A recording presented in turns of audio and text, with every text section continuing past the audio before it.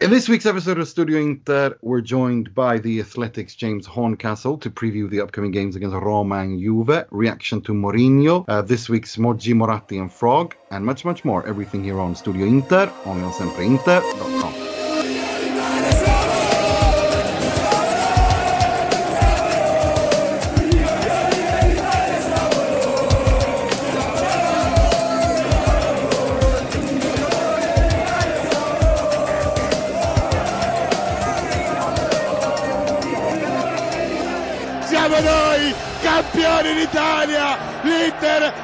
campione d'Italia! L'Inter è campione d'Italia! Siamo Benvenuti, noi bentornati to another edition of Studio Inter. I'm your host Nima Tavallaey. We're welcoming you to, welcoming all dear Campioni d'Italia to a new week, uh, a week where, where Inter have two ye- pointless games against Roma and Juve, although they're not really that pointless, which we'll get into. Uh, but let's, but before we get into all of that, let me let me introduce my panelists, starting with the SempreInter.com preview writer, Mr. Mohamed Nassar. How are you doing today, Mo? Yeah, Mystic Mo is doing very well. Thank you very much for asking, and looking forward to getting into this episode very much. So yeah, Indeed. And we're also joined by uh, the SempreInter.com chief news uh, chief news editor, Mr. William Beckman. I take it you're doing ra- rather well. I am, yes. I just need to apologise to any listeners if the sound quality is a bit uh, dodgy this week because uh, we respected Steven Zhang's uh, request to make a, a gesture, and we're recording this with uh, sort of paper cups and strings uh, instead of our usual recording. So uh, uh, hopefully this will all hold up. Austerity. It's Studio Inter, the austerity version. Cuts Uh, cuts, Cuts. exactly. Cuts, cuts. Cuts, cuts, But we've and all more got to we've all got to join in apparently. So my Exactly. iPhone has So gone. here's Inter. yes. And uh, speaking there is our good friend from the Athletic, Mr. James Horncastle. Welcome back. Thank you very much. Pleasure to be here with you. And we're also joined by the Athletic, uh, the U.S. Uh, is the U.S. Athletic or is it? Uh, what is it, Mike? You got to help me on that. Well, I mean, we're we're still the athletic, you know. I think Yeah. I think we're the athletic. They say James is the athletic UK, but we're all one happy family. I I still slack. Listen, you can, James will tell you I slack him every two weeks, either in some form of euphoria or total panic about this club. So we're a very small company, as you can tell. Sure, I should actually turn off my Slack now because you're yeah, just yeah, yeah. Just the, the way message. I don't know why James is away all the time in Slack. Whatever could it be? Brilliant. Right, let's get to it, gents. Um, uh, James, um, when I mean we had you before, uh, I think at the beginning of the season. I think it was a preview edition. I can't remember, but basically it was it was before anything had happened, and, and quite a lot has happened since. Um, y- uh, you you know Inter have had the roller coaster of a season, um, basically all down before Christmas. Then you know Eriksen being said that he was quote not functional by Marotta. Then all of a sudden he was functional, and so was Perisic, and Inter became this machine that couldn't concede goals and just scored for fun, and won the Scudetto by what looks to be at least 10, 12 points, which is, which is crazy. Um, I'm, I want to. I'm, I'm keen to hear what, what your take is all of this because I know I was very on. I was very open that I did not think Inter were going to win the Scudetto, especially in December after that historic failure in the Champions League. But you, you, you still believed. You thought Inter were going to win. Honestly, now, did you think Inter were going to win in this dominant fashion? Uh, yes, I did. Uh, Come on. no, I, I did. I think I came on at the beginning of the season and I said as much. It, it's because I drink the Conte Kool-Aid. Uh, I always have done. Uh, and this is how he wins. He doesn't win by one or two points. He wins by 12, 15. He goes on these long winning runs. Um, and, you know, it was going to happen sooner or later uh, for him at Inter. Um, you know, I mean, even last year, I think Inter had a very good season. Um, yeah, even going back to how they started. I mean, remember the meme of Candreva after he scored that goal in that opening game against Lecce? Again, Lecce, yeah. I mean, you know, they won every game apart from the the first Derby d'Italia, which okay popped uh, Inter's balloon a little bit, and I suppose in the Champions League, Inter had those games where they played amazing for an hour at the Camp Nou against Barcelona. Um, they did the same uh, against Dortmund, and then they they they couldn't hold on and win, and, and they ended up losing. And Conte complained, and uh, you just thought that was Conte being Conte. Um, and yeah, clearly uh, there's a lot of stuff uh, behind the scenes at Inter, which I think goes beyond their status as a unique unique club that has its own you know very peculiar uh, dynamics. Um, you know, I, I, think particularly this season, uh, given the financial distress the club has been in, um, you know, I think uh, they've done a, a, remarkable job of maybe using it to pull together, um, you know, within the dressing room at the training ground um, to focus their minds.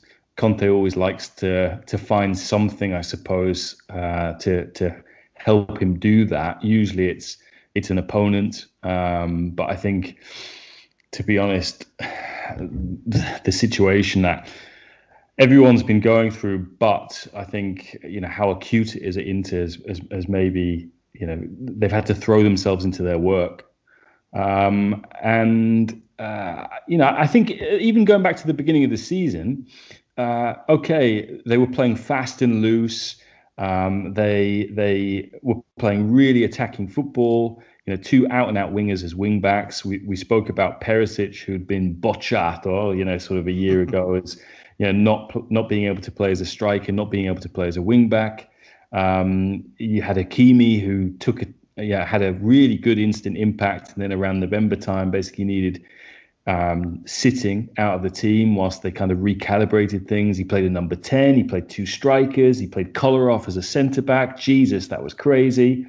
Um, and and you know the underlying numbers that Inter had uh, were really good. I know people don't like looking at them, but their their numbers were really kind of strong right from the beginning of the season, and I kind of pay attention to those.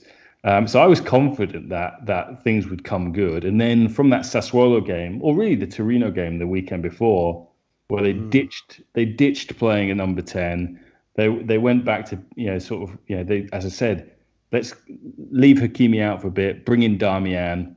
Uh, for the end of November, beginning of December was the first time that Conte was able to play Bastoni, De Vrij, and Skriniar all together in back-to-back games in the league. Um, and and from then onwards, uh, they were unstoppable. Um, and I, I, think there were there were a series of games really which. Um, yeah, it, it's it's always a, a, journalistic trope to go to a manager and basically say on on what did this title hinge or on what did this mm. season hinge. I, I, think you know Sassuolo's won, but I mean I think uh, within the group beating Juventus in mid January was massive for them um, because they hadn't done it. They'd lost both of those games the season before. Th- those were the difference, really, in in in winning the title and losing it. Um, uh, and then I think that period in in was it the the February in, in between the international break where they beat Lazio, overtook um, Milan going into the international break, came out of the international break, played Milan and beat them three 0 It was done. It was finished. I mean, for, for, for me, this this title race has been over since mid mid January, um, just because because they had nothing else to focus on other than uh, other than the league. You know, I mean, going out the Champions League in the way that they did, and I kind of agree with Conte that they weren't lucky, given you know how um, on the balance of play they deserve to go through, undoubtedly, um, in, in the group stages. Um, but for Vidal being stupid, giving away silly penalties, I mean that's another turning point of the season, right? Vidal just gets injured and is is dropped. you know, um, and uh, I think that's one of the most incredible things. I say incredible. It's not. It's not incredible when Inter, you know, have spent what they've spent and and and paid some of these guys these kind of wages. But um, you know, Conte. If you look at if you look at the team he's got, you know, aside from Hakimi, you know, the guys he signed for experience uh, in the summer or for free, Vidal and Kolarov didn't really contribute anything. Uh, Darmian's the only uh, summer summer signing with Hakimi who who came in and kind of uh, changed the team, I suppose, as a as a backup. Um, and, and, you know, he repurposed players who looked like lost causes. We talked about Perisic, but Eriksen after the January transfer window closed and they basically knew that they weren't going to be able to sell him. Um, to see him play a new role and sort of get up to speed with with what Conte wanted, um, I think was, you know, again he's he's proven himself, in my opinion, to be a coach who isn't just like a relentless and very demanding winner, but he's someone who just improves players. Um, and uh, and yeah, I, I, think it's it's it's been a it's been a procession. really, it really has. Certainly. Um, I'm going to hand you over to uh, Mike. Did you have a question for James? I do. Hello, James. Um, obviously, the elephant in the room right now is okay. The Scudetto's clinched, but nobody knows what the offseason is going to look like, how much of a mercato there could see, could conceivably be. Uh, I'm not going to ask you to comment on that right now because I think we're all still trying to find it out. But I guess in the broader sense, if let's say this is truly a period of austerity and Inter can't do much more than minor tweaks, how much confidence do you have in them being able to win uh, 20th Scudetto next year and, and, to repeat this? Because I'm assuming, you know, it, it, in fairness to Inter, right? I mean, they're not the only club asking people to take, uh, you know, wage deductions. Juventus and Roma are in the in the news for doing the same thing. But clearly, some of these issues are unique. So how how bad is it, and how much hope should we have that if worse comes to worse, and there isn't much overhaul, but there isn't many departures either, that there is enough for another Scudetto next year? Well, I think uh, the summer transfer market is is going to be uh, one of the least active and kind of shallowest in in a long, long time. I think people were anticipating that already last summer. I think now that we're 18 months into a pandemic and things have really started to crunch, um, uh, we're going to see it uh, again uh, this summer. Um, because everyone wants to sell, but nobody wants to buy, and uh, that's a real issue. Um, I, I, think in Inter's case, they'll be in a strong uh, position going to next season, just because I think the the team, uh, as it's presently kind of constituted, is is is very strong. It's it's it's developed a mentality. It's been there, done that. Now it, it knows what it takes to win things. Um, but it, it, just depends how how much the team is downsized. I think um, because I would I would anticipate uh, sales. Um, I, I, just I just I, I, I can't imagine a situation in which I mean you, you hear about this on you know the kind of talk shows on a Saturday and Sunday on Italian TV, the, the question is always, well, can Inter strengthen? How are Inter going to strengthen? And you know, the, the, the best case scenario always seems to be let's hold on to what we've got. Um, I think that's going to be I think that's going to be hard. Um, so, you know, you then have to ask what the consequences of of, of that is really, um, because you know Conte uh, already at the end of last season, um, you know, shortly after the, the signing of Hakimi, he, he, he said, uh, yeah, the project stopped um, uh, there and then. Um, you know, Conte is always a, uh, as a coach who wants to kick on. You know, I mean, we saw that at Juventus. You know, incredibly, end of year three, 102 points. He makes that comment about uh, them not being competitive or not having the kind of resources to compete in the Champions League, um, and uh, stays, comes back for preseason, resigns two days later. Um, so, you know, it clearly matters to him um, knowing uh, that there is a, a, club behind him and an owner behind him who's who's going to back him and, and, and, keep improving the team. Um, but you know, does he actually look at the the environment in which we're all living at the moment and say, it doesn't matter where I go, that's not going to be possible. Um, right. So it's it, it's it's a really it's a really difficult um, situation. I think we'll see we'll see more swaps again um, uh, this summer, um, but you know I, I do think Inter will. Uh, I do think some of the players that um, you guys have probably got quite attached to over the co- over the course of the last uh, year or so. You know, maybe one or two will will have to find a Premier League team. You reckon? You really think so? You really uh, think so? Yeah, absolutely. Okay.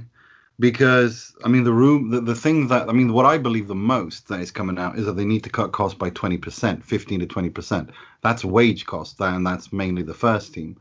Um, and other than that, they from what we've understood is they've secured some sort of financing and loan and cash injection to buy out and liquidate Lion Rock for 33 million euros and the rest is going to be used to stabilize the club over the next you know whenever things open up again to basically cover everything. I mean that that's that's what they that's what we're hearing from reliable sources.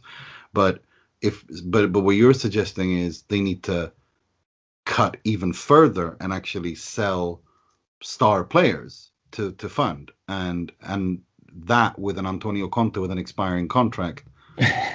I mean, it's not going to sit well. no, it's not going to say well. It's, it's not going to work. He's not going to accept that. There's there's just no way he's going to accept that. He's going to fight. I mean, if you think the shitstorm at Chelsea the last year was bad, well, that that's a that's that's a breeze in the wind compared to what's what's in store for for Steven Zhang if he thinks he's going to do that. Enjoy, you've got to enjoy this period, as as Antonio keeps saying. You've got to, you stand back, smell the roses, enjoy it while you can. That's that's that's his message at the moment. So yeah, that's just, no. I mean, I, I mean, basically, I mean, we'll have to wait and see. But I mean, I I, I think it's politically untenable for the Zhangs for for Suning to stay at Inter if they're going to do that. That I can say. Well, I mean, that's what that's what I'm I'm interested in. You know, um, you guys as Interisti, what what you what you think of the owners because um, on the one hand they have delivered uh, the league title that um, yeah the Popolo Inter has been waiting for for uh, for such a long time, but at what cost?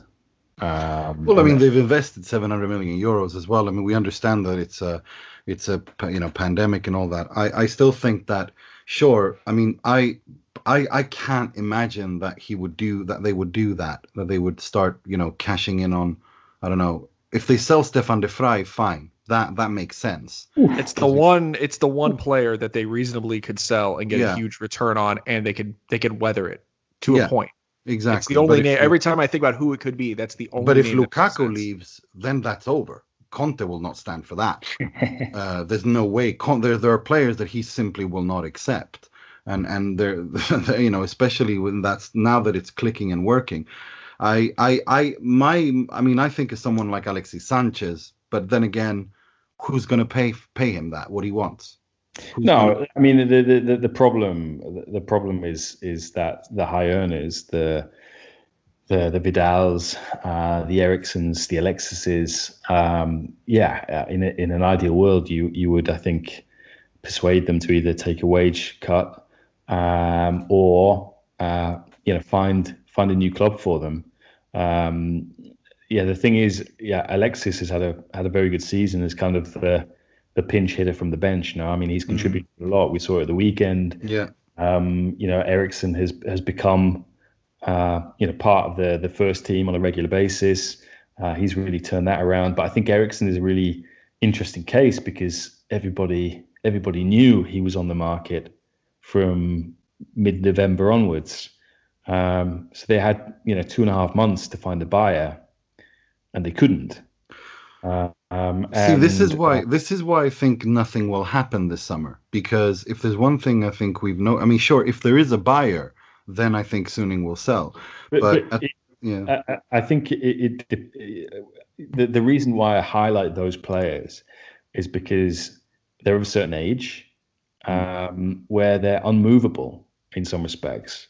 Yeah, Juventus have this problem, I suppose, if you want to call it a problem, with players like Aaron Ramsey, you know, in that, you know, they're late twenties, early thirties, they're on, uh, they're looking for, they're on, they're on huge money, and uh, and finding someone who can a is prepared to pay a fee for them.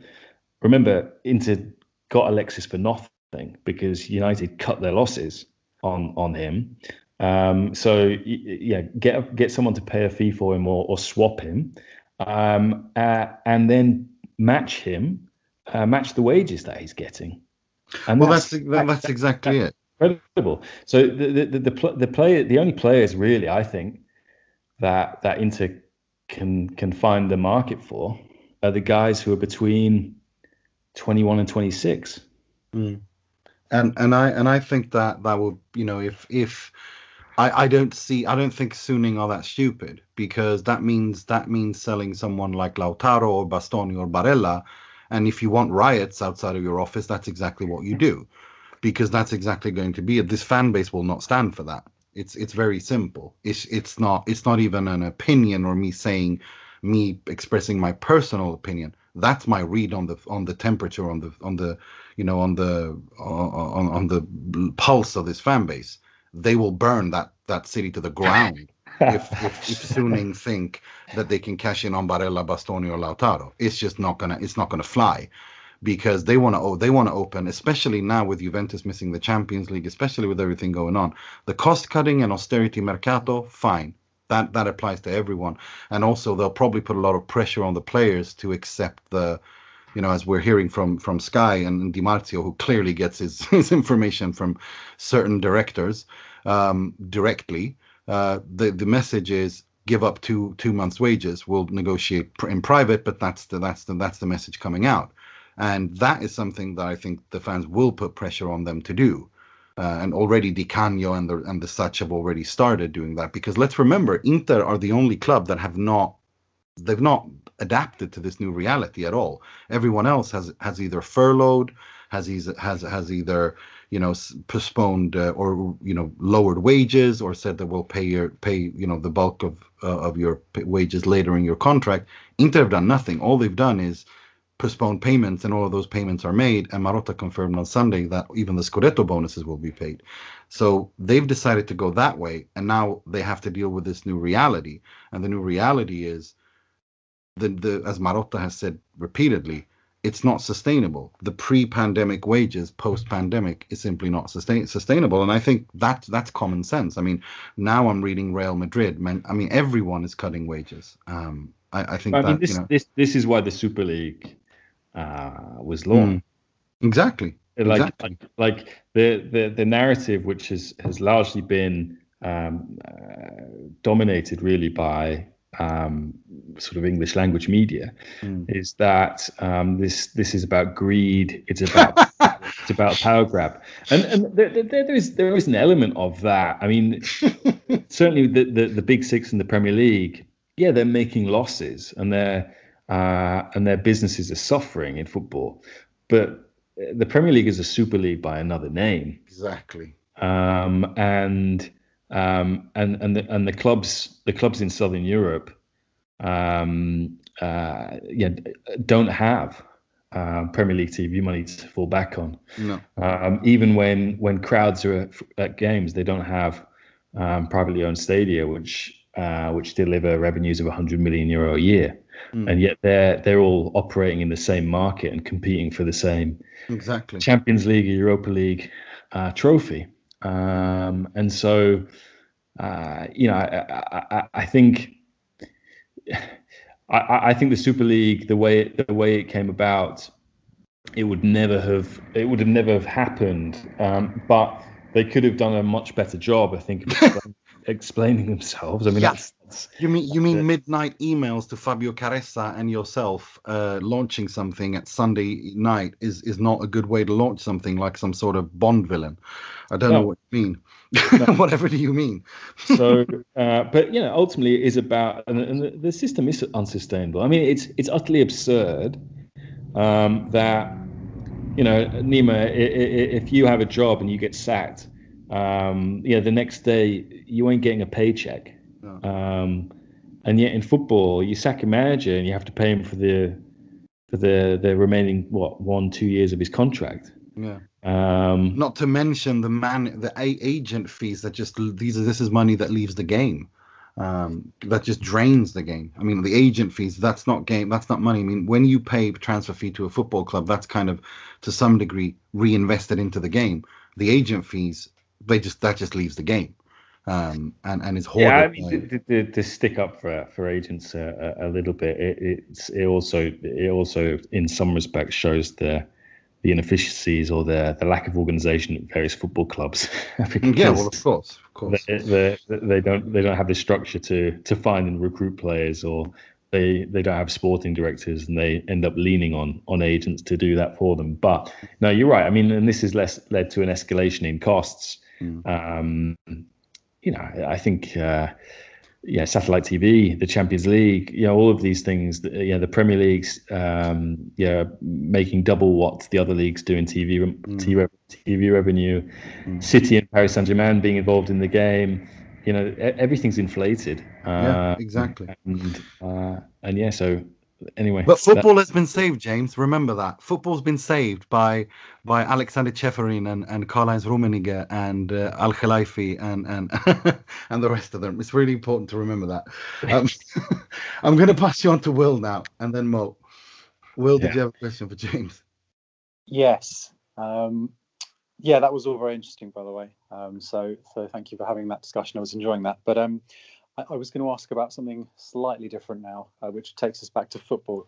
Um, Damn. And um, Jose Mourinho is back in Serie A. Yes. I don't know if anyone noticed yes. this um, yes. last week. Uh, sort of Never heard of him.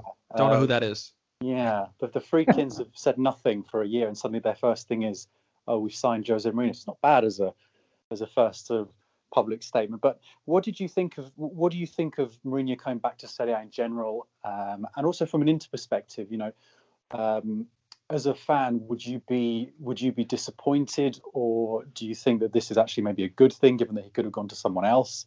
Um, and do you think Serie A is maybe suited him because the narrative now is that he is bollito, um, fed up and, and washed up, but um, maybe maybe maybe Italy will be the right place for him. So, uh, what was your initial reaction, and what would you be thinking right now if you were an Interista?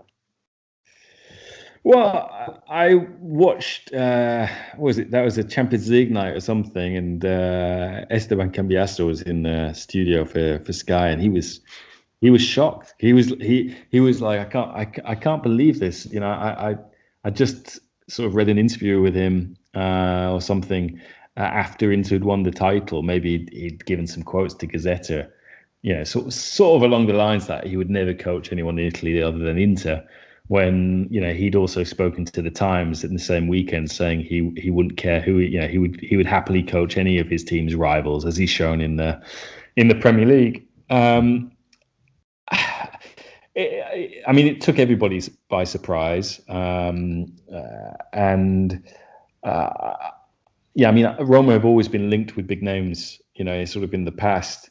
Um, you know, yeah, you think more recently about Conte, for example, when Conte was available, Totti really wanted to make him the next coach of Roma.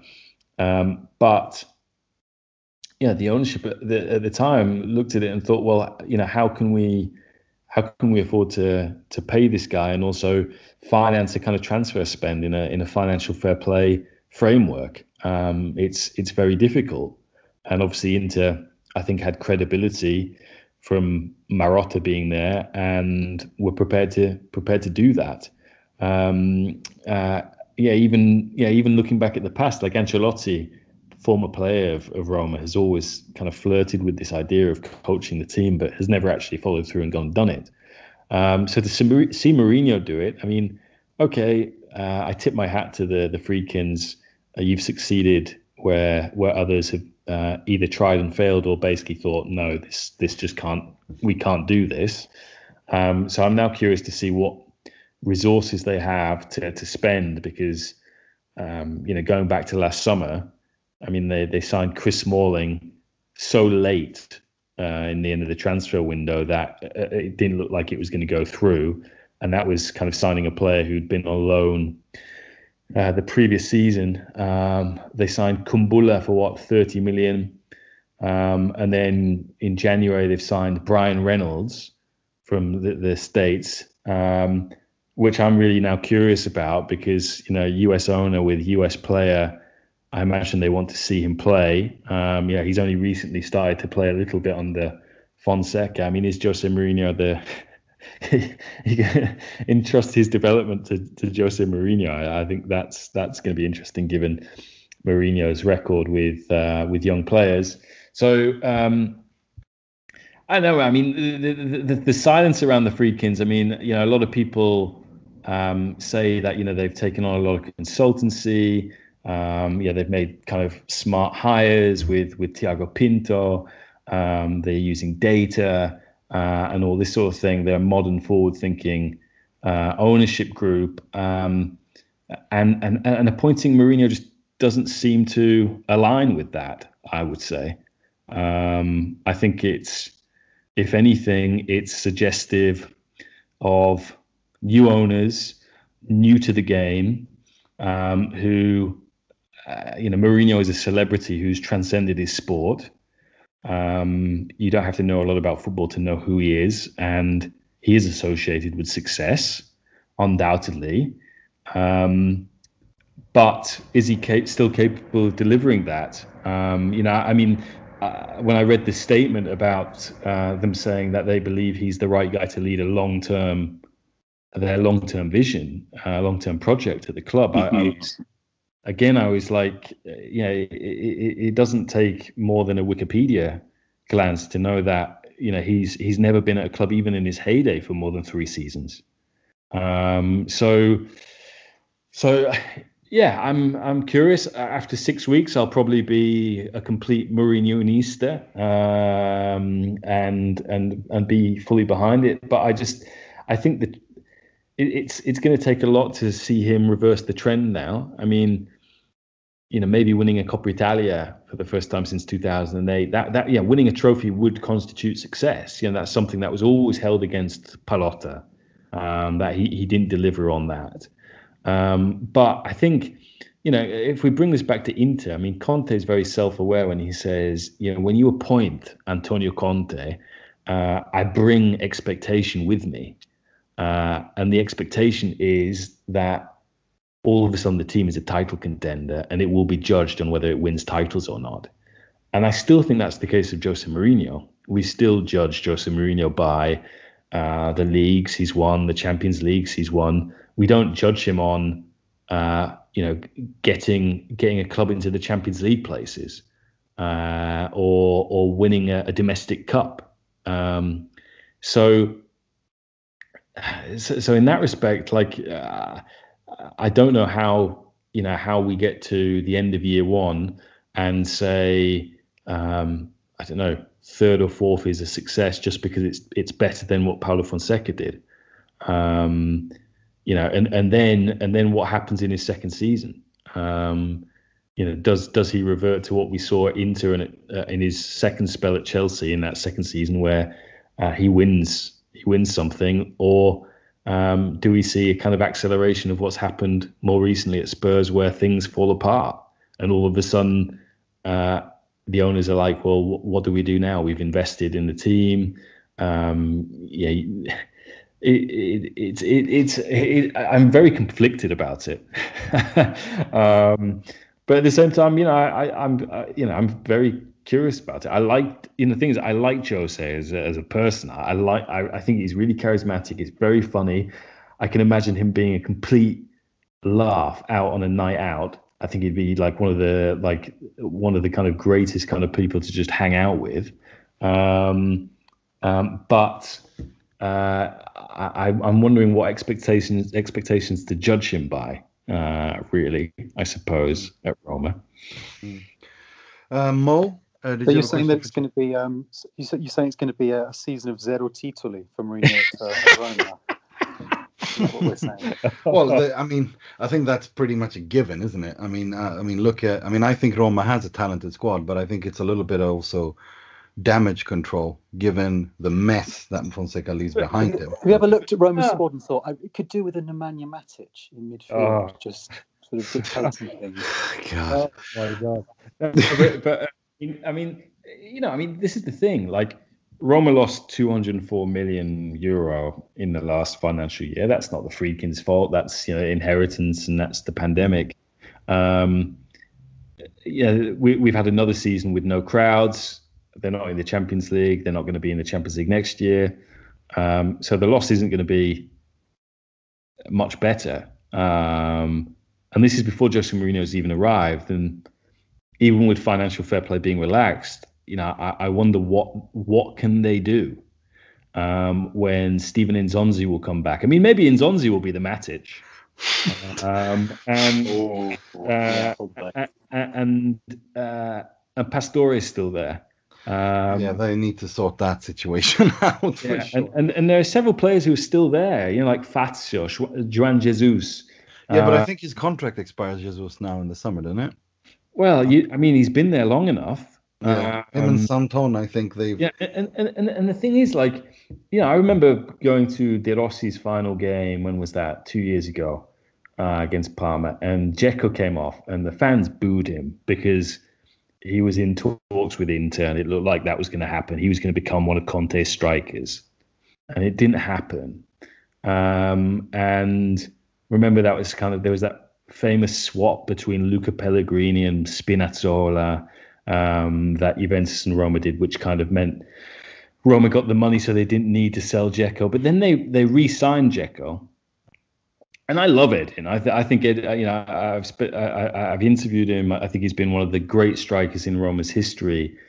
Um, he's 35, and they in, instead of saying they extended his contract on big money. Um, and and and the running costs of these things. I mean, this is the same thing with Inter. Like in the pandemic, these the running costs of these contracts are massive. Mm. Um, and so he's he's he's he's going to Mourinho's going to walk into a squad which is difficult to restructure um, and difficult to let's say find the uh, find finance from within, uh, and by that I mean by selling players uh, to buy um, rather than looking to the Friedkins. Um, it's it's it's tricky. Um, so uh, yeah, I, I expect him to you know go over to Alberto De Rossi, uh, head of the Primavera, and say, Alberto, you know, who have you got? This is the new me. I'm going to give all these young players, you know, Darboe a chance and Reynolds a chance, and you know, we'll we'll we'll have to see because I, I, you know, if I were Roma, I would be, I would be going for a manager who can who can develop and make develop young young players and build on what you've already got, um, a De Zerbi or or or something like that, um, rather than rather than Jose, who uh, you know, as much as I admire him, I, I, just think he's he's not really ever been a builder. He's been a win now guy. Um, so we'll see. It'll be it'll be interesting. It'll certainly it'll a lot. There'll be a lot of t- attention on Serie A during his his time there.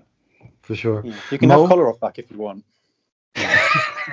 God, can we can we not say the K word in this pod because the atmosphere is Kolarov, just I going to don't, know really if, sink. I, I- I don't know if you've ever been in a mixed zone with Kolarov or like, uh, been in like a hotel with, foyer with him. Uh, he's massive, Kolarov. Like he's like he's deceptively tall. Uh, he's one of those. He, he reminds you that they're athletes and you're a civilian. Uh, um, so yeah, yeah. Um, ah, to be honest, he, he was a great player for Roma. He was great. I love uh, Alex. Just don't play him at centre back. Just don't play him at centre back. Mo, did you have a question for James? Yeah, uh, so I think uh, we got a lot uh, covered uh, tonight. So I just uh, I'll try and make this uh, quick. Um, with regards to Suning and um, and Marotta, we've seen them maneuver uh, what were what was you know reported in the press to be like uh, existential crises in the club many many times. Whether it was the Icardi uh, removal of the captain's armband, shipping him off to PSG, uh, austerity mercato, uh, bringing in Conte. So many times, uh, the, the sit down with Conte at the end of the season, last season, post uh, Europa League uh, final, uh, the big powwow that they had uh, to, to clear the air. And basically, back to the point that uh, Mike was talking about in his, in his question. I, I don't know, but I, I feel like we can only judge the future by what we've seen happen in the past. And for me, Marotta and the Zhangs or Suning in general have been so capable in managing um, all these transitional difficult moments.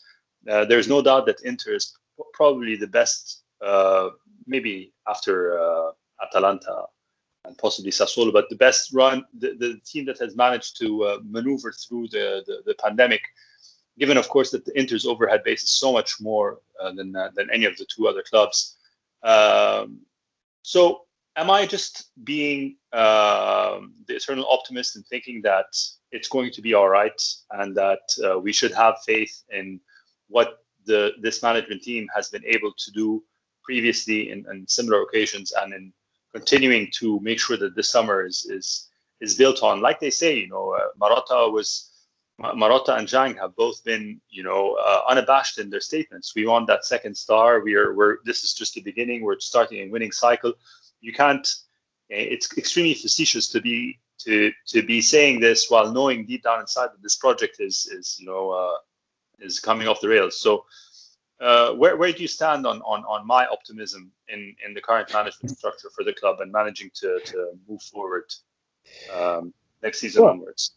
Again, from some of the reports that have come out in the last few days, uh, you know, Conte wants uh, the club to be clear with the public. No, he wants, he, yeah, he's wanted this for a year. Um, he, he, um, at least that's what's that's what been said in the papers that um, you know he, for example, didn't want um, uh, to be obliged to win a league, um, and uh, and likewise you know, I don't think uh, coach, chief executive, owner, um, or president in Steven's case uh, can kind of come out and basically say, you know what, next year we're not going to compete.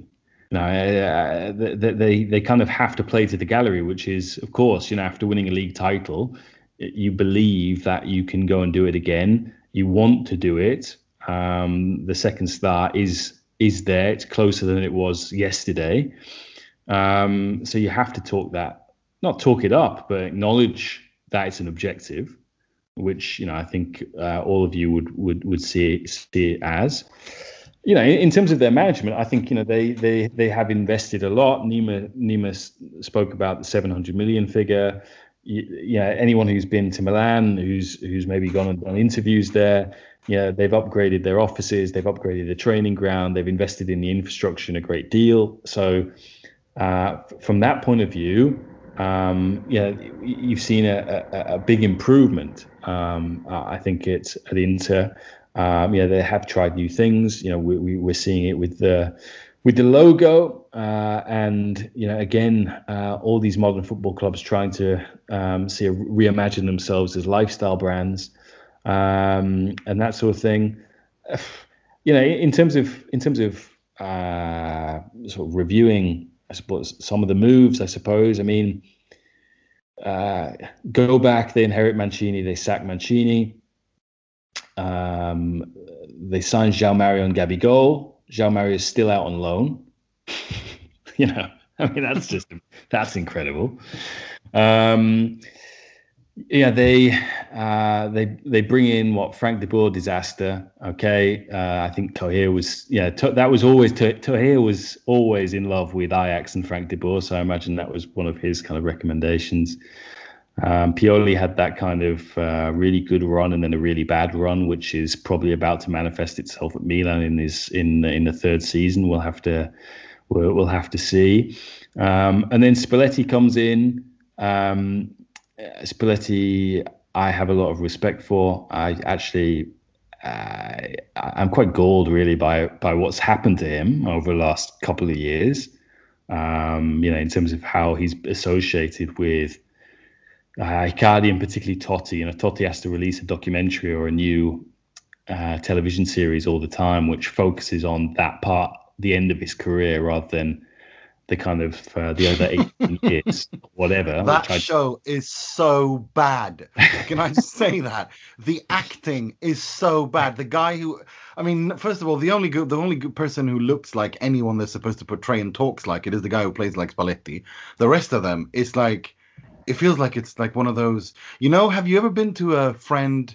You know, a friend's son or a friend who actually has done, you know, when you were in uni, they have like this end of year presentation of the the work they've been working on, and they're really proud. And you have to sat, sit there with a shit eating smile and pretend that it's good, and inside you want to die. That's the feeling I got when I watched that Sky show. uh, okay. Well, uh, I mean, I, seriously, I, I haven't, I haven't just been able to sit through it. Um, uh, but uh, and then Spalletti comes along uh, the, the, team does it. The team does improve. Um, I think he did a good job, which uh, has been kind of acknowledged by by Conte. But the Icardi thing, uh, is is is just one of the most remarkable stories of the last last five years. um, and and Conte comes in and decides. Well, Conte and Marotta decide, right? We need to have a cultural reset at the club, and I think that was that's very difficult. I mean, remember prior to um, everything that happened with Icardi, uh, Interisti were fretting over the the clause in Icardi's contract. No, what was it, 105 million? Oh, it's too yeah. cheap. It's too cheap. Someone's going to come and buy him. That's how crazy the football world is. That you know that was. Seen I lived in cheap. utter panic for like two years about right. this. Right. Okay. exactly. And then, um, yeah, everyone knows he's for sale. They have to find the buyer, and uh, they they got some money for him you know, it, it wasn't what we were expecting. but him. it was still 55 million euros in a pandemic economy. I thought that was brilliant, brilliant business to be that honest. was pre-pandemic, pre-pandemic, and that is it's that's like that's it's. I mean, I think it was initially what 60, 70, and it yeah, it was 70. It was a loan with a 70 option, and then after the, and then they negotiated, didn't they? But yeah, I I, I think I think that's yeah, they talked it down. PSG wouldn't play, pay the full clause, but they ended up paying like fifty-five-ish, and that was post-pandemic. So that's pretty. Yeah, good. that was yeah, that's post-pandemic. That was in the amazing. Middle. PSG wouldn't pay. PSG wouldn't pay it. Um, you know, PSG, one of the clubs with who, who have you know all the clubs around the world don't have, you know, are, are losing money in football terms, but have have backers that uh, that are the wealthiest in in world football, essentially. Nainggolan um, goes out on loan, comes back. Uh, six months later, he's back on loan again. Um, you know, I mean, that's again, we're talking about uh, an expensive mistake. He was swapped for Nicolo Zaniolo. Mm, don't uh, remind me. Mm, uh, uh, Perisic, Perisic was sent out on loan, wins a treble. incredibly wins a treble and then comes back and uh, you know has been repurposed as a success so that's great but he's still on the books you know, yeah. this was guy who that they wanted, they they were looking to sell. And uh, Dalbert, and so is Dalberto Carlos. Oh my God, Dalbert. Dalberto Carlos.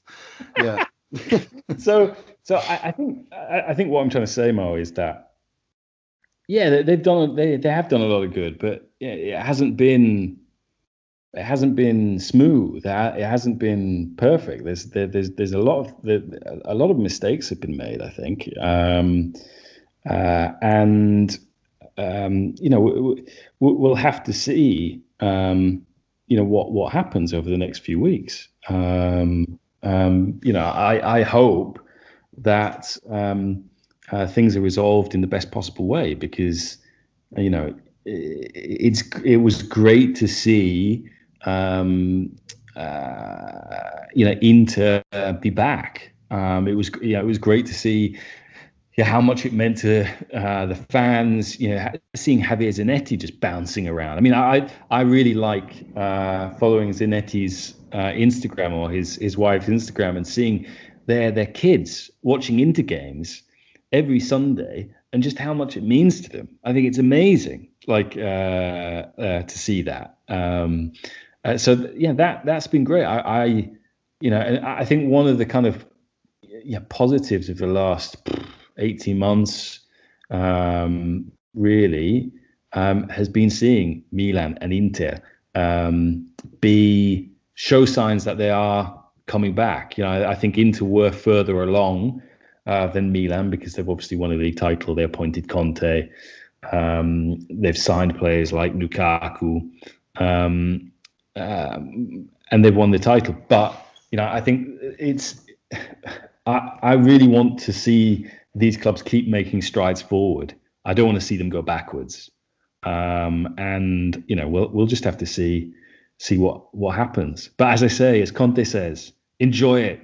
You know, savor this moment. You know, it's uh, it's uh, you know, you, you, they don't come around too much. Uh, so you know, in, in in that in that sense, I think you know we're just going to have to wait and see if um, if Suning and, and the Zhangs can can uh, can find what they need uh, in order to to keep supporting Inter. Um, so uh, yeah, fingers crossed.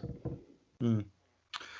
Yeah, for sure. Um, there's um, there's a game to be played against. I mean, against your uh, against Roma uh, this Wednesday, and then it's it's the Juve game. And and Conte's been very clear. He's going to rotate. Uh, uh, the uh, he didn't mention Juve. He said he's going to rotate Sampdoria and Roma going into the Sampdoria game.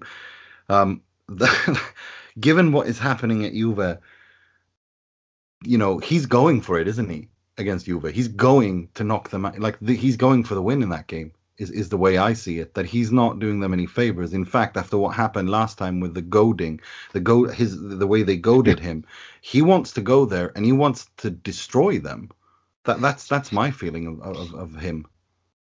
Destroy is a strong word. I I I I, I agree that there's a lot of needle in this uh, game, uh, and I, I think you're exactly right about you know what happened in the Coppa Italia um, in Turin. I think that will be that will be on his mind. I, I, I don't think he will be in a merciful mood. Um, you know when they go uh, and and play that game.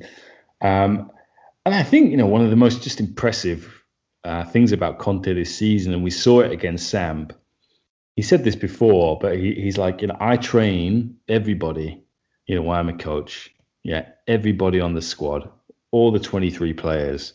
You know, I, I, there's been this line that's been tossed out over and over again in recent weeks about Conte when he first came to Inter saying that his best chance of winning the title was to improve every single player. And uh, I mean, to see them beat Samp 5 5 1 uh, with, uh, with what, Gagliardini, um, D'Ambrosio, um, Alexis, Pinamonti at the end um, you know shows that uh, yeah they are they are riding on on enthusiasm at the moment. Um, so I think you know even if they even if they rotate against Juventus, which I don't think they will, I think they'll put their strongest side out. Um, uh, you know, I, I, would back them to um, to win just because there's so much enthusiasm, so much belief. They have such a clear way of playing, so choreographed. Um, I think Conte told this anecdote, didn't he, a few days ago about some of his former players had basically called him up and they they'd been watching into like, ah, oh, yeah, we used to do that move. Yeah, yeah, yeah. We, I remember that. We used to do that one as well. Um, and you know, it's just all so well rehearsed. So that feels very different to what we've seen at Juventus in the last few weeks, where he seems to be very improvised and anarchic and ad hoc. Um, so so yeah, I, I, just wonder if Juventus will do what Claudio Ranieri did and give give Conte an Inter a guard of honor. Um, certainly, I mean, Agnelli was very gracious in congratulating uh, Steven Zhang on on Twitter, but uh, let's see if let's see if that happens on uh, on what is it Saturday at five o'clock or something like that. Let's see. Mm, yeah, no, for sure. Um, I I think the Roma. Yeah, I don't want to. I don't want to even talk about Inter playing Roma because I just, you know, I, I, I. oh God. Uh, yeah. Um. United. Yeah. Hey, this is the great the thing about effect. It's already this working. Is, this is one of the things I love about Roma is this is the team that can score what five goals against United and six against Liverpool in European semi-finals and not make a final. Um, yeah, I know. It's it's brilliant. Well, I mean, this is what happens when you appoint um, Di Francesco and Fonseca, and, and, and they, they don't seem to believe in, in defending or, or, or, that, that that it works, and and so you end up losing the way you do. Um, but I, I mean, the Roma game, I, I think is going to be one of those classic Inter Roma goal fests. um, I, I I don't know who's going to win that. But I think three three, I wouldn't put it out, put put it past anyone. This ending a four three, five four, five three, something like that, because this is uh, it's going to be this. I think it's going to be the same atmosphere as against Sampdoria. Inter are going to be relaxed. Roma don't want to play in the Conference League, and, and who can blame them? I think Jose would would absolutely not would be very grateful if he didn't have to travel to Iceland and um, the Faroe Islands and Moldova and stuff like that for, for the better part of, of next fall. Mm-hmm. Um, so so I think I mean for Roma, it's missing the Conference League is it would be the best thing ever, and and I think it would be good for Roma to miss it, given that Sassuolo actually want to make it.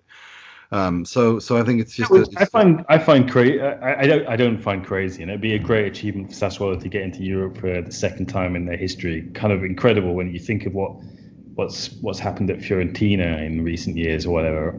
Um, but like De Zerbi then leaves, and uh, what? I mean, I've got nightmares of them like appointing someone like Cristian Bucchi all over again, and they're they're in Europe. and all of a sudden, they're in a relegation battle. I just think that's uh, that's a, that's a nightmare. Um, so so yeah, I don't know.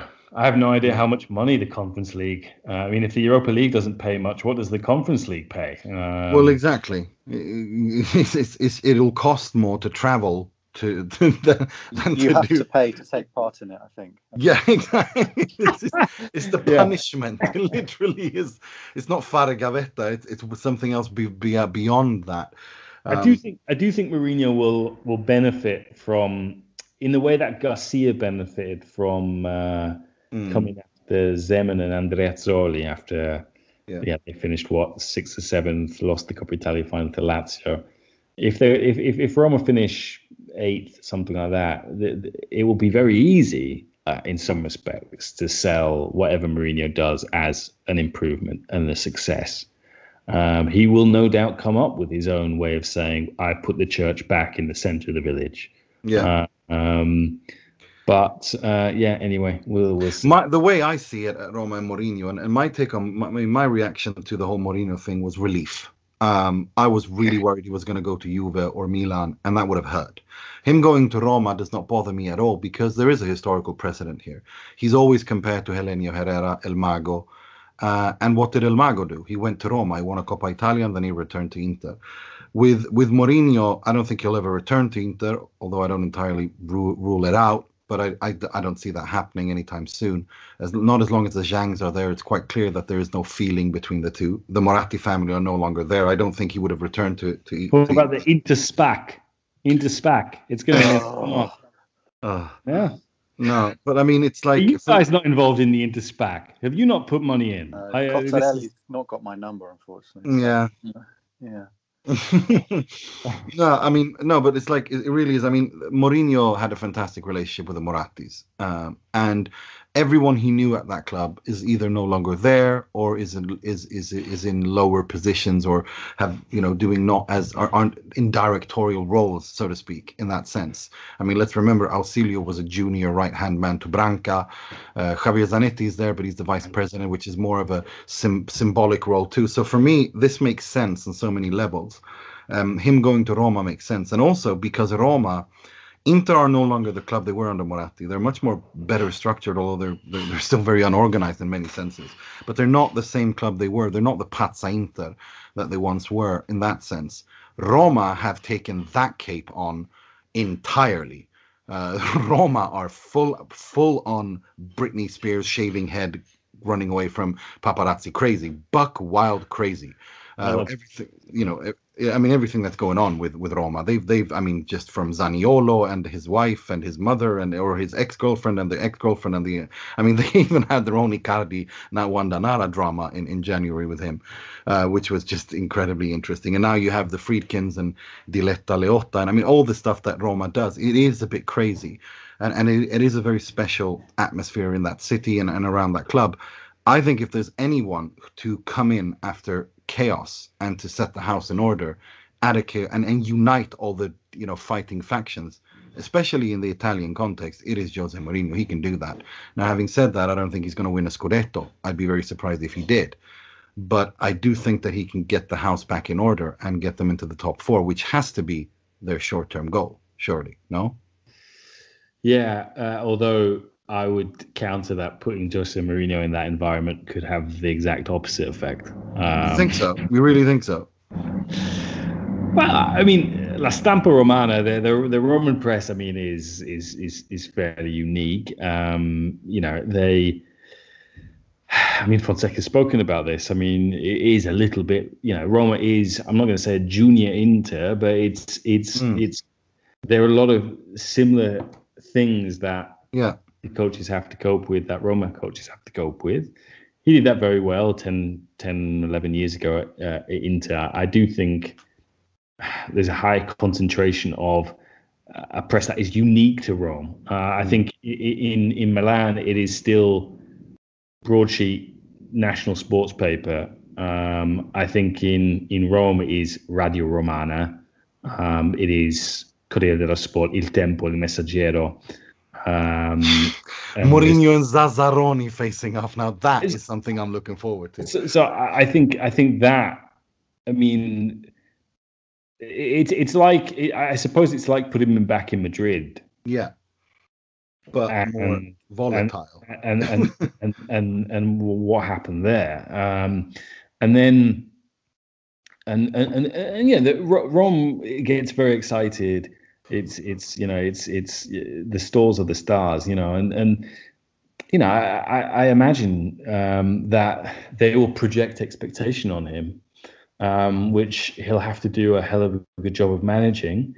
And if one of the ways of managing that is to go to the Friedkins and say, right, we need to spend more money, or you know, right, this player is not right, or that player is not right, then then then how's that that going to work? Um, it, I, I, I, you know, I think it could be, um, you know, I, I hope for the the scenario that you uh, you have painted, uh, Nima. Um, I I I, I just think it's it's it's a, it's a very it's a very unique environment. Uh, he is this kind of strong man figure, mm. um, but um, I, I, I think it's a long time since he's been able to unify um, a, an environment around him, uh, a club around him, a city around him.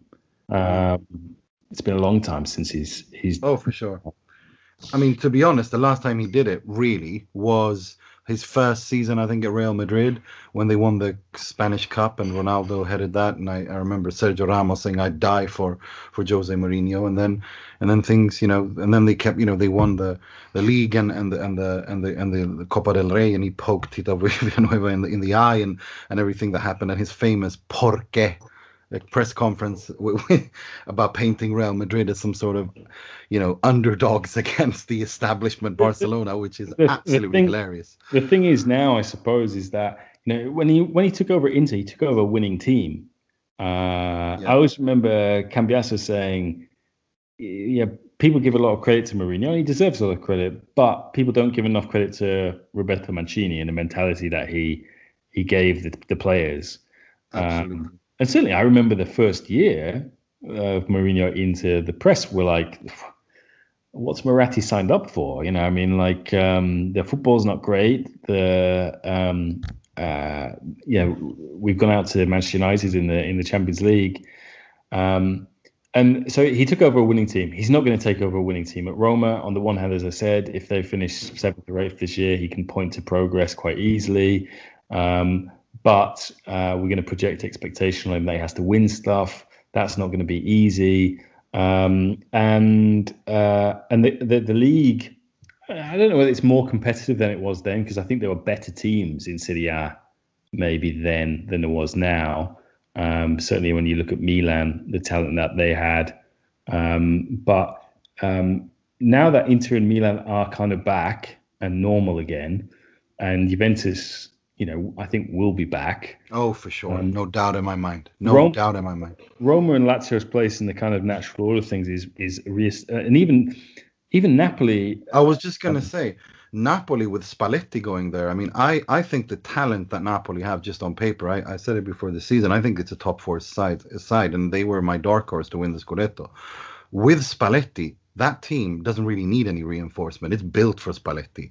That can, be, can you imagine Spalletti and De Laurentiis? That's going to be incredible. Well, this is what I'm. But, but, but this is what I mean. Look, you can't be Ancelotti. It's quite clear that you can't be as calm as Ancelotti in Naples. You have to be buck crazy. You have to be either a cranky Tuscan smoking cigarettes, or you have to be Walter Mazzarri blaming diarrhea and, and stuff, like blaming the rain and, and, and being cranky and crazy and, and, and passionate like that.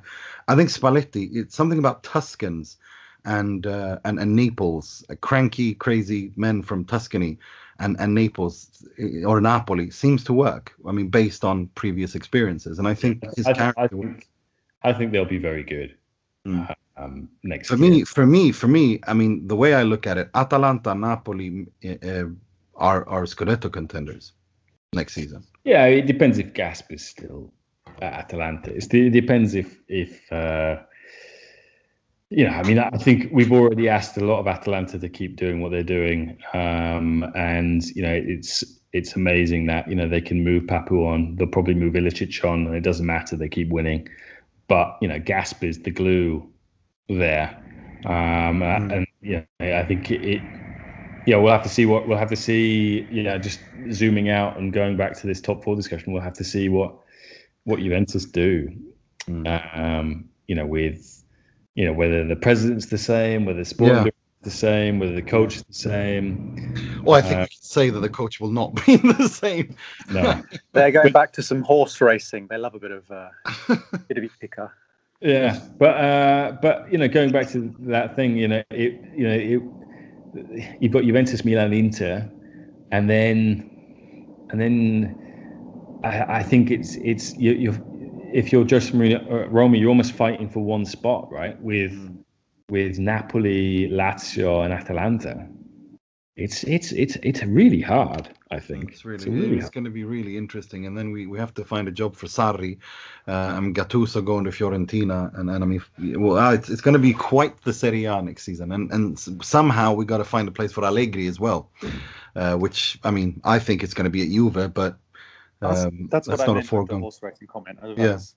no, no, no, no. I, I know. Yeah. I mean, no, no. We, uh, but it's just like he. I, I think it's a. It's not a foregone conclusion. Although I think he will accept the Juve job uh, as a, because I think he'll be given more powers, and I think it, will also mean that Paratici and Nedved are given their marching orders uh, if he returns, which I think is, you know, given the results, you know, this is a historic collapse for Juve to win nine titles and then not even make the Champions League.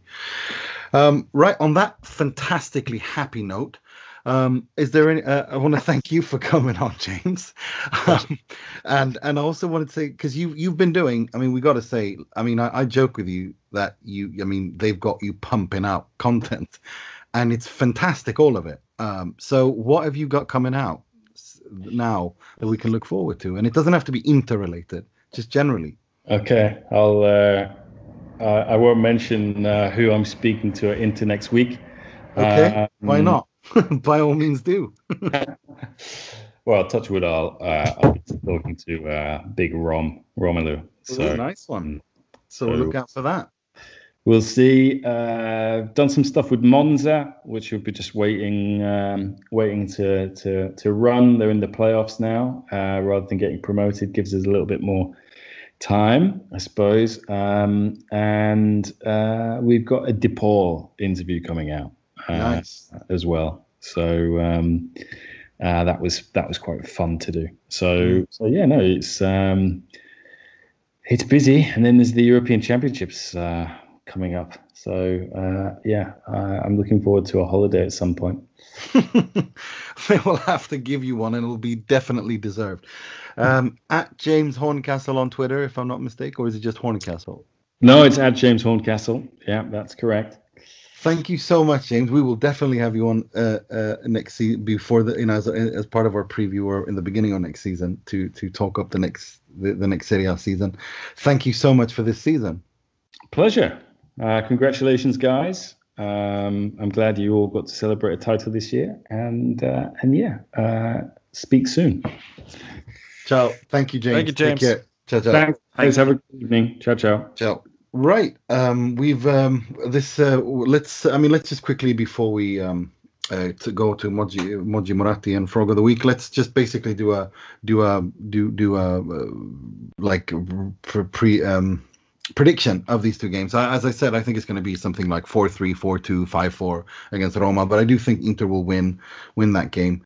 Um, as for the game against Juve, look, uh, I, I I don't know what I, I I really don't know what what to expect from that. I really don't know what to say, what to think. I think a lot of it depends on Sassuolo. If Juve win against win against Sassuolo, that game will matter. If they don't win that, then then I think then I think Inter that game won't matter, and I think Inter can easily win that game. I don't know. What about you guys? What do you think, uh, Mike? Yeah, I think that's about right. It's God, it is delightful that these are two big names in the schedule, and I I just don't have to worry at all. I'm just kind of sitting here. I'm just like, you know, whatever. I'm all sanguine about this. I'm living the Conte life, just taking in the feeling. Um, I, I, think the Roma match will be a shootout. Roma doesn't have anything to play for. You know, even if Inter don't. I, I think the big thing that I saw this last week, the Sampdoria match, was Inter just looked so much more loose. Right? They win that match five one. They had they had even though a number of players weren't in that lineup. I don't think it's a coincidence. I think once the pressure was off of them and they knew this was locked up, they just were able to go out there and have fun. And so that tells me that this week, no matter how much of the starting lineup is in there or not, I expect them to get to result. Um, as far as Juve, if they officially are out of the Champions League at that point, I think they're just going to crumble. I, I think, and I absolutely, totally am with you that Conte is out for blood. Conte is going oh. to field the best eleven. He wants to embarrass them. He, he wants to going humiliate to them. The shit out of that team. You will right. see him foaming at the mouth on the sidelines, yelling and screaming and shouting and like that. That's not like he's not messing about. Right, and, and you know what's funny about this is that I could completely see some scenario. They're backing Pirlo right now, you know, and they have to because they're still the, the Champions League hunt. But if they lose that game badly, Pirlo will be out in 48 hours. If Inter lay the smack down and they humiliate Juventus, like they are perfectly capable of, given how badly things are going over in Turin right now, uh, Pirlo's out the door within 48 hours. So I'll I'll I'll put Inter down for six points. But the nice thing is, I mean, I'll still be pissed if they win, don't win the Juventus match because it's Juventus. But mm-hmm. the nice thing is, I, I, can watch these in, in relative peace. It's a beautiful, beautiful thing. Amen. William. Yeah, it's very enjoyable. Um, we were we were hoping we'd get the league done before these two games, and we did it with uh, with flying colours. So that's uh, that was uh, very un-Inter-like to have everything wrapped up earlier and then have it all comfortable uh, with a few games left. I think we'll probably beat Roma. I have two 0 which is a little bit less exciting than than your four three. I hope it's another five four like we had all those years ago or something like that because we haven't had one of those uh, barnstormers for a while. We had a lot of two twos with Roma, so um, maybe maybe it'll be that. But I think we'll win. Uh, I don't know about Juventus, as you said. If, if Juventus beat Sassuolo and they're still in touch with uh, with Napoli in fourth, then uh, I think that you know they will be absolutely desperate to get a result, and that that might provoke some kind of reaction out of them. Um, so you know, and also without wanting to get too seedy, you know, Juventus needing a result on the penultimate weekend of the season, you never know what's going to happen in that scenario.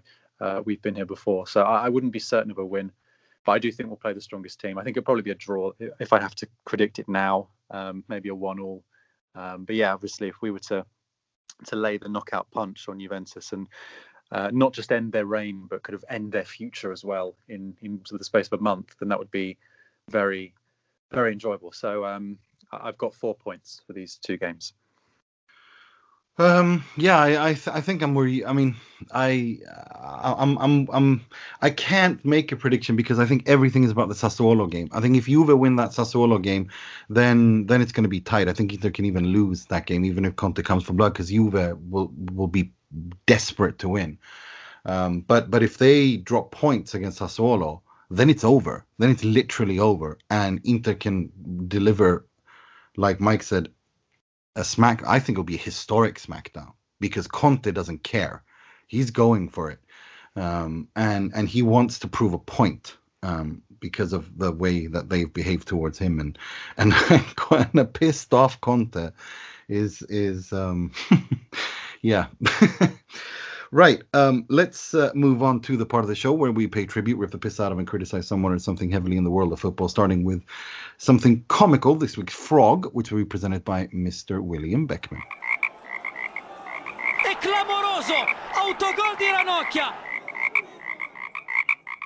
Yes, uh, this week's Frog takes us back to Roma. Um, so, uh, you know, Jose Mourinho was appointed as Roma's head coach, and he was obviously making headlines around the world. And um, this this caused a bit of a problem for um, one of uh, a, a, presenter in the UK who was having to report this news. Um, I mean, it's it's you know it's a, it's maybe acceptable not to know what what um, what she was trying to translate, but the, the video itself and the reaction it has had in Italy has made it, I think, quite frog worthy. So it's, it's Vicky Gomersall. She works for Sky Sports News, and I've been watching her on Sky Sports News for about 15 years. She's a fantastic presenter. I've never seen her sort of lose um, lose her lose her the, her train of thinking before. But she was reading out this announcement from Mourinho uh, being appointed by Roma, and then she got to the end of it, and uh, they had Dai Roma at the end of it, which is just you know Roman dialect for Forza Roma or whatever, and um, and she just sort of proceeded to try and kind of spell it out like she was trying to sort of teach a child how to how to spell a word and just trying desperately looking for what this meant. And she sort of was looking like uh, it says here uh, Deja Roma I don't know what that means. Uh, do you know what that means? She was asking her, her co-presenter uh, what was it again? Oh uh, D A J E Roma Deja and so that obviously got some traction on social media. But then I would listen to the radio on Wednesday, the day afterwards, and they used this clip as their introduction to their show. And then they had a, five, ten minute sort of discussion about about this this incident. So unfortunately, this wasn't a great uh, PR moment for um, for Sky in the UK. So um, I, I, think that was it, it, made me laugh and it was slightly embarrassing. So uh, I think that's the that's my frog for this week. Even though you know I have a bit of sympathy for her as well, but who cares? It was funny, and she did mm. get very badly mocked for it, which may be a bit harsh, but there we go. Yeah, agreed, agreed. Right, let's move on to something much more negative, uh, which I'll be uh, this week's Moggi, which I'll be presenting myself.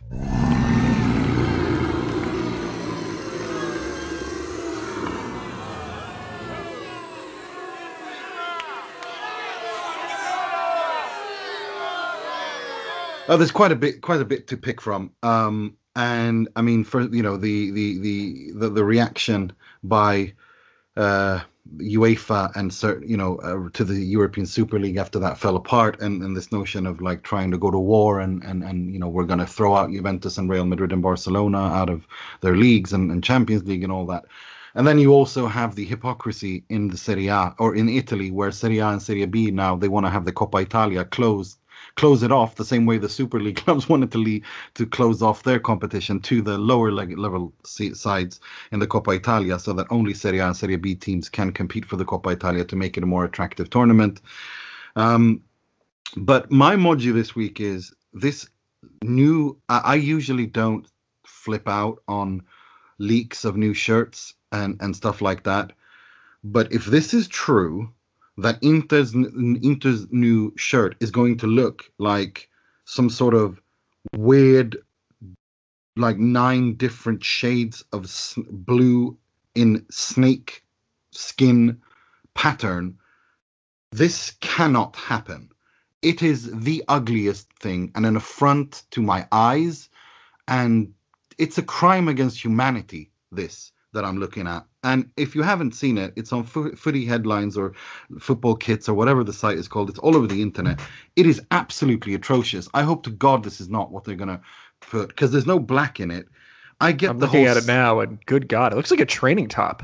It's a training top, exactly. It's the same as Italy's or, or Adidas is doing this summer um, for for for for for the Euros and that's another thing as well. That I mean, generally, these that's the Moggi of the week. These horrific designs that they do for that that, that they've done. Um, oh, trying to trying too hard to reinvent the wheel. It's not hard. I understand that you want to put your mark on it, but some things Inter are nerazzurri, ner black, azzurri blue. There's not a hint of black in this. The the the, stripes uh, are are snake skin pattern. They're darker blue and lighter blue. It looks absolutely atrocious. And whoever did the away kit for Austria in the Euros might want to brush up on his World War II history first. It looks horrible. It gives me the bad vibes. It does not look good. Again, stop trying to reinvent the wheel. It's good to add, you know, your your modern touch, but sometimes you know, don't chill. Breathe we, in. We worked too out. damn hard to get that shield back to slap it on something crappy. All right. I mean, make it look beautiful. I, I, mean, have you seen Austria's the black? It no, looks, I haven't yet. I mean, I I have Austrian friends who are like, we cannot wear that with our history. Like it just what? It, it's yeah. Yeah, it, look at that now. That's yeah, ooh, yeah. That's not what you want. That if you're Austrian, you don't want that. If you're trying to to leave certain things alone from 1930 to 1940. It's horrible. It is absolutely horrible. And and the, and this snakeskin thing is is I mean I saw this guy Rupert Graphic is is on on on on Twitter and, and Instagram. He does some amazing designs based on like snakeskin and stuff like that. If that guy can do it, then then then the guys who are paid full time at Nike can do a better job than this monstrosity that that I hope is not next year's kit because it's an affront to to Inter fans. Like you said, we we want to have we, we you want to buy that shirt, and this I wouldn't you wouldn't you wouldn't you wouldn't even get me to wear that if you paid me. So please please this the, these these new these these designers for these kits are this week's Moggi. Right, let's move on to something much more positive. This week's Moratti, which be presented by Mr. Mike Piellucci. He's, he works a lot, he's intelligent, and uh, he surprises uh, people sometimes with his uh, ideas. Not easy to find one person of these uh, qualities. I uh, like everybody who I hope listened to last week's show. I thought you all did a wonderful job uh, talking about this team and what it meant.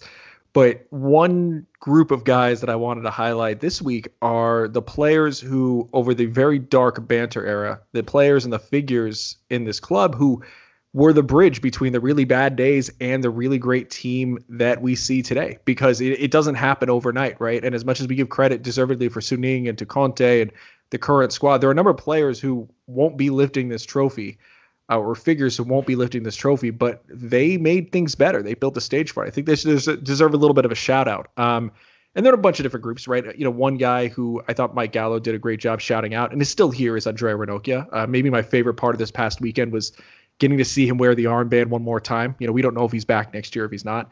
This is a guy who, in some ways, I think Inter failed him as much as he failed Inter. You know, if he came into, if he were Alessandro Bastoni's age coming into this Inter uh, with the hype that he had playing with, you know, playing at Bari, I think we would be talking about Ranocchia as a totally different guy. He came, unfortunately, he came to Inter at a time when there was no guidance, there was no structure. He never became the player we thought he'd be, but he turned into a loyal servant of the club, a solid enough backup center back. I'm happy he's here. I'm happy celebrating. Um, for the guys who aren't here, Rodrigo Palacio, a transfer who I and probably a lot of other Inter fans were scratching our heads a little bit at when they brought him in. He was 30 years old. The club didn't have a lot of money, but they paid for him really good player for several years here. He kept that bridge going among great strikers of the tradition of this club. He's someone who made the, who left the club better than he found it. Deserves some credit for getting this team where it is. Uh, Miranda, uh, Miranda was someone who played here before there was Skriniar, before there was Bastoni, before there was Stefan Miranda was the first decent, and I would say a lot more than just decent center back this team had in five years. And he was the glue on the back line. He was the first center back for several years the first guy sent post treble who you would see him in the back and you would feel pretty confident that he knew what he was doing. Total professional. Uh, left, you know, by the time he got moved, oh, you know, out to uh, the Chinese league, didn't have anything left in the tank. But for those first couple years here, very good player, brought a lot of needed stability. Um, Luciano Spalletti. I'm going to enjoy seeing him back at the sideline because he's a lot of fun. But he did exactly what he was supposed to do, which was uh, get this team back to the Champions League, get them consistently contending again for you know a Champions League place, look professional, have an actual system. Was he good enough to win the league? No, but he did the job that he needed to do and was a massive upgrade from anyone before him. Post really Rafa Benitez, even Rafa Benitez wasn't great, but uh, post Benitez, bridge to Conte deserves some love. Uh, Radja Nainggolan, disaster of a transfer, but he did score the Empoli goal uh, to get them into the Champions League in the most Pazza Inter match of the last several years. Let's give him a little credit for that. Uh, Mauro Icardi, not the name that a lot of Inter fans have a lot of love for anymore. Left in the worst way possible, but you can't tell the story of this team without telling the story of Mauro Icardi putting the team on his back for several years. He stole so many points that this team had no business stealing. He was incredibly prolific. And for when when things were great, they were really great. Um, I hope someday, you know, maybe the hatchet gets buried. Maybe he isn't totally detested because he gave a lot of years of his career to some really bad teams and he elevated the club. And the money that they got from his transfer is going to prove really crucial in making sure that things aren't disastrous from a financial standpoint. So, didn't end really well. Still bitter about the way he, you know, he left. It's a sad way to go out, but for several years he made this place better and he helped to get the club forward. And finally, last but certainly not least, Samir Handanovic, the single best moment uh, on May 23rd when this team sees the trophy is going to be watching Samir Handanovic raise that cup. And you could sit here and say, yes, he's not what he used to be. Yes, he probably needs to be replaced for next year. Yes, this could get bad if he is, in fact, the number one again next year, which seems like it's becoming a possibility. But this man gave everything he had in the best years of his career to a team that was miserable a whole heck of a lot. This is a top five keeper in the world for several years at his apex for a team that some years wasn't even getting to the Europa League. And if he's out there now, try not to, you know, try not to conflate, diminish Samir Handanovic in your opinion of him with what he's given to this team because it's not his fault that the team didn't replace him when his body can't do what it once did. But that body and the things he could do and the way he carried the net for years and years and years was the brightest light in some really awful years. And much like I never thought I would see Zanetti raise the Champions League trophy, and I got so excited when I was able to see it happen. I didn't think Samir Handanovic would be raising a, a league trophy, but he's going to. And no matter what your feelings are about him at 36 years old in this moment of time, be happy for this guy who was a total servant of this club, who was an incredible player, who never left, who, when the Icardi situation blew up the club, he took the armband and led with professionalism. The man deserves every bit of his moment in the sun, and we should all celebrate that. Amen, Reverend Mike. Um, thank you guys. That's all we had time for this week. I'd like to thank James Horncastle and, and Mo Nassar, who had to run. He had a prior family engagement to run to. Thank you guys for coming on. I'd like to thank you, Mr. Mike Piellucci. Where do we find you on Twitter? At Mike Likes Sports, where I will still be tweeting. And, you know, I'm, I can't even imagine what my brain is going to be like on the 23rd. It's going to be just a beautiful, beautiful moment. Mm. Okay, beautiful. That was beautiful. Mr. Mr. William Beckman. Thank you. I'd just like to thank Claudio Ranieri as well because class is permanent Yes. and that guard Yep. was magnificent on Saturday. Agreed, agreed. Um, he didn't have to do it, but uh, as he said, this is sport. So thank you to him. And uh, yeah, I underline and uh, subscribe to everything Mike said as well. That was very moving and very beautifully put. So thank you for that. Thank you, sir. Agreed. Agreed. Agreed. Agreed. Right, that's all we have time for this week. Um, my, uh, as I said, I'd like to thank Mo, uh, Will, Mike, and James Horncastle. Um, until next week, I'm your I'm your host Nima Tavallaey Roodsari, wishing you six points. Stay safe, stay healthy, listen to your health authorities, and sempre e solo forza Inter.